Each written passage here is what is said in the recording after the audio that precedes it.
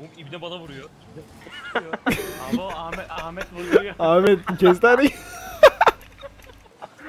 Ahmet geçmiyoruz galiba. Ahmet pasif oldun kardeşim hayır.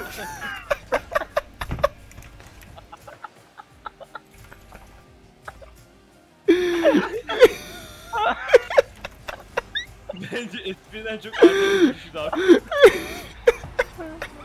Ahmet doğru mu bunlar? Doğru. Doğru şey ne dedi?